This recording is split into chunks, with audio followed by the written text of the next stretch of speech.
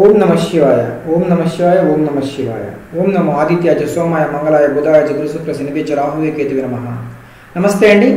I'm doctor Lingeshwar astrology and numerology already మనకు November ఎనిమిదో తారీఖు జరిగినటువంటి చంద్రగ్రహణం కార్తీక పౌర్ణమి ఈ ఇంపాక్ట్తో వృషభ రాశి వాళ్ళకి అపార కుబేరులు అవ్వడానికి దారులు ఏర్పడ్డాయి. అద్భుతమైన మార్గాన్ని మీరు చూస్తారు. వృషభ రాశిలో పుట్టిన వాళ్ళు నిజంగానే లక్ష్మీపుత్రుడు. వృషభ రాశికి అధిపతి శుక్రుడు. శుక్రుడు దేనికి అధిపతి? సంపదకి సౌకర్యాలకి వసతులకి సదుపాయాలకి డబ్బుకి బంగారానికి ఒక ఉన్నతమైనటువంటి వ్యక్తిగా చలామణి కావడానికి ధనవంతుడుగా కీర్తి ప్రతిష్టలు తెచ్చుకోవడానికి మరో పేరు మరో వ్యక్తి ఎవరో కాదు వృషభ రాశిలో పుట్టిన వ్యక్తి. ఎందుకంటే వృషభ రాశికి ప్రతి వృషభ రాశిలో పుట్టిన వాళ్ళకి బై బర్త్ కూడా ఎక్కువ మంది డబ్బున్న వాళ్ళ కుటుంబంలోనే ఎక్కువ మంది పుడతారండి. అట్లీస్ట్ మధ్యతరగతిలోనే ఎక్కువగా పుడతారు. కానీ వీళ్ళు పుట్టిన తర్వాత తల్లిదండ్రులకు విపరీతమైన రాజయోగం ఉంటుంది. ఒకవేళ రాజయోగం లేదు అనుకోండి వీళ్ళ జాతకంలో దోషం ఉంటుంది. అదేవిధంగా కొంతమందికి వృషభరాశి కుటుంబీకులకి ఆరు సంవత్సరాల వయసు దాటిన తర్వాత నుంచి తల్లిదండ్రులకి అపర కుబేరుడు అనే పేరు వచ్చేస్తుంది. వాళ్ళ జాతకం కనుక బాగా యోగిస్తే. ఎందుకంటే పిల్లల జాతకం తల్లిదండ్రులు కదా అనుభవిస్తారు. అదేవిధంగా వృషభ రాశి వాళ్ళకి పేరు బలం గనక వీళ్ళకి తోడైతే వీళ్ళని టచ్ చేసే నాదుడు అంత స్థాయికి వెళ్ళిపోవచ్చు. వెళ్తారు కూడా. చంద్రగ్రహణ ప్రభావం అనేది వృషభ రాశి మీద డైరెక్ట్గా ప్రభావం చూపిస్తుంది. ఆ డైరెక్ట్గా వచ్చేటువంటి ఆ ప్రభావంతో వీళ్ళకి ఒక విధంగా చెప్పాలంటే ఎంత డబ్బులు కావాలనుకుంటారో దానికి రెట్టింపు పది రెట్లు ఎక్కువ వచ్చే అవకాశం ఉంది. ఆ స్థాయి ఆ జీవితాన్ని వృషభ రాశి వాళ్ళు పొందుతారు. మన దగ్గరికి ఉమాశంకర్ అనే వ్యక్తి మనం వచ్చి కలిశాడు.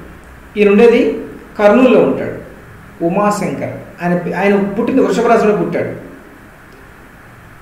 తను అడిగే క్వశ్చన్స్కి నేను ఆన్సర్ ఇవ్వలేకపోయాను బేసిక్గా. ఎందుకంటే సార్ మీరు మీరు చెప్పే పాయింట్స్ అన్ని కూడా నాకు చాలా ఇష్టం. మీది మీది వింటూ నేను పడుకుంటాను బేసిక్గా ప్రతిరోజు కూడా. నా జీవితం ఎప్పుడు మారుతుంది అనుకుంటూ ఉంటాను. కాకపోతే ఖచ్చితంగా జాతక ప్రభావం ఉంటుందంటారా? మరి ఉన్నప్పుడు వృషరాశి పుట్టిన వాళ్ళందరికీ అదే అదే కదా ఉండాలి. మరి నాకెందుకు రూపాయి లేదు? నేను ఎందుకు డివోర్స్ ప్రాబ్లం ఫేస్ చేస్తున్నాను? నేను చదువుకున్నా కరెక్ట్గా ఉద్యోగం లేదు వ్యాపారం చేద్దామంటే లాస్ అయిపోయినాను. ఎందుకు ఇది అన్స్టాండర్డ్ లైఫ్ ఎందుకు వచ్చిందంటారు? అదేమంటే పేరు అనబోతారు. పేరు ఓకే ఆ పేరుని మరి న్యూమరాల ప్రకారం కరెక్షన్ చేసుకున్నా. అయినా నాకు సక్సెస్ లేదు. ఒకటి గుర్తుపెట్టుకోండి. ఒక వ్యక్తి తరచూ సమస్యలు ఫేస్ చేస్తున్నాడు. ఒక వ్యక్తికి ఏదో ఒక ప్రాబ్లము వెంటాడుతుంది అంటే simple astrology no use simple numerology also there is no use ఖచ్చితంగా ఎనిమిది శాస్త్రాలని మనం ప్రామాణికంగా తీసుకోవాలి. ఎనిమిది అంటే ఏదో పెద్ద పెద్ద పనులు చేయాల్సిన అవసరం లేదండి. ఒక్కొక్క దానికి ఒక్కొక్క పాయింట్ని మనం ఆదర్శంగా తీసుకుంటే చాలు. న్యూమరాలజీ పేరులో అక్షరాలకు నెంబర్ ఎంత? ప్రోనాలజీ పేరులో అర్థం ఎంత? దానికి సంఖ్యాబలం ఎంత? గ్రాఫాలజీ ఎన్ని అక్షరాలు ఉన్నా ఎన్ని అక్షరాలు ఉండకూడదు. దానికి సంఖ్యాబలం ఎంత? సిగ్నేచరాలజీ ఎలా సంతకం చేయాలి? ఏ విధంగా సంతకం చేస్తే యోగం? ఎన్ని డిగ్రీలో సంతకం పెట్టాలి? సంతకం పెట్టేటప్పుడు స్టార్టింగ్ లెటర్ ఎలా ఉండాలి? ఎండింగ్ లెటర్ ఎలా ఉండాలి? పేరున పిల్లర్ లెటర్ ఎలా ఉండాలి? అక్షరాల యొక్క సమూహాల విలువల గురించి తెలియజేస్తుంది గ్రాఫాలజీ అండ్ సిగ్నేచరాలజీ మరి ఆ వ్యక్తి ఎటువంటి వాస్తులో ఉండాలి? ఆ వ్యక్తి ఏ రత్నాన్ని ధరిస్తే యోగం? ఆ వ్యక్తికి సంబంధించి జన్మ దోషాలు ఏమన్నా ఉన్నాయా? ఆ వ్యక్తికి సంబంధించి జాతక చక్రం ఏం చెబుతుంది? ఎనిమిది అంశాలు పక్కా తెలుసుకొని చూడండి. ఎనిమిదింట్లో ఒక్కొక్క పాయింట్ మీరు మెయింటైన్ చేస్తే చాలు within forty five to ninety డేస్లో మీరు టూ హండ్రెడ్ పర్సెంట్ ఏ ప్రాబ్లం అన్నా ఉండేవండి రెక్టిఫికేషన్ ఒక దారి ఏర్పడి తీరుతుంది. రాసిస్తా కావాలంటే పక్కా. మీరు కరెక్ట్గా ఈ ఒక్కొక్కటి ఒక్కొక్క పాయింట్ మీరు జస్ట్ ఫాలో అప్ చేసి చూడండి. అద్భుతాలు చూస్తారు. ఏమంటే శాస్త్రం ఉండేది మనిషి యొక్క మనుగడికి. మనం ఇలా ఉండాలి మనకి ఇలా ఉంటే ఇలా మీరు ఇలా ఉండండి ఇలా ఉంటే మీకు యోగం ఇలా ఉన్నవాళ్ళు సక్సెస్లో ఉన్నారు కాబట్టి మీరు కూడా ఎందుకు ఉండరు అని చెప్తుంది శాస్త్రం అంతే. ఇప్పుడు ఒక వ్యక్తి ఒక వ్యాపారం చేస్తున్నాడంటే లక్ష రూపాయలు సంపాదించాడు అనుకోండి రోజుకి అతను. వంద మంది పెట్టేస్తారు సేమ్ బిజినెస్ అవునా కదా? అంటే అర్థం ఏంటి? అది ఒక పాజిటివ్ మంచి. పది మంది ఎంచుకుంటారు దాన్ని. మరి అదే మంచి ఎవడి పేరు ఉన్న వల్ల ఎవడి డేట్ ఆఫ్ బర్త్ వల్ల వాడు ఎవడు ఎలా ఉన్నాడు? మరి మన పేరు ఏంటి? మన డేట్ ఆఫ్ బర్త్ ఏంటి? మన పేరు నెంబర్ ఏంటి? మన పేరు అర్థం ఏంటి? మన సంతకం చేసే విధానం కరెక్ట్ అన్నా కాదా? మనకు జన్మజాతకంలో దోషాలు ఏమైనా ఉన్నాయా? లేకపోతే నెగిటివ్ రిజల్ట్స్ ఏమైనా మనం ఎక్కువగా ఫేస్ చేసే అవకాశం ఉందా? అసలు మనం ఎలా ముందుకెళ్తే ఒక యోగం అనేది ఉంటుంది? ఇవి తెలుసుకోవాలి కదా మినిమం సో అలా ఆయనకి కొన్ని జాగ్రత్తలు చెప్పి ఉమాశంకర్కి కొన్ని ప్రొడిక్షన్స్ ఇచ్చాను. మనం ఇచ్చిన తర్వాత ఈరోజు ఒక చార్టర్డ్ అకౌంటెంట్ ఆఫీస్లో తను ఒక మెయిన్ అకౌంటెంట్గా దాదాపుగా ఇప్పుడు మన దగ్గర మన దగ్గరకు వచ్చి అరౌండ్ సిక్స్ ఇయర్స్ పైన అయిందండి. నేను సాక్షి టీవీలో మార్నింగ్ టైం ప్రోగ్రామ్ చేసేవాడిని. సో ఆ టైంలో మన వచ్చి కలిశాడు.